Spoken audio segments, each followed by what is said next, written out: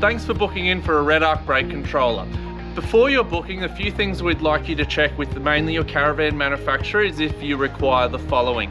If you need an isolated grey Anderson plug to charge your batteries, uh, a red Anderson plug for ESC, so electric sway control, and if you need a 12 pin plug to run your three-way fridge or any other items in the caravan.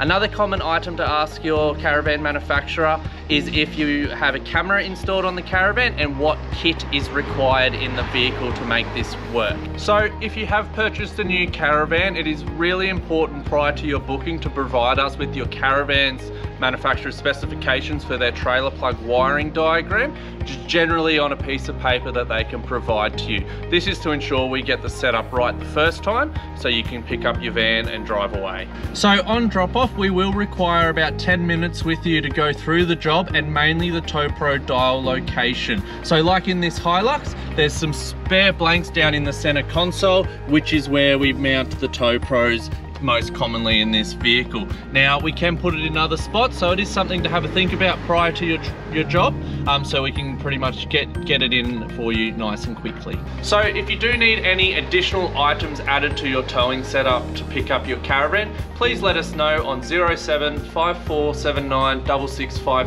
prior to your booking so we can allocate the correct amount of time to get the job done to the best standards possible.